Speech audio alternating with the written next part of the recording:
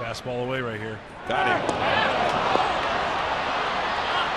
And Myers makes a tag, and that's a big pickoff. Span is out. He was going to try to steal and was out by a mile. They really caught him early.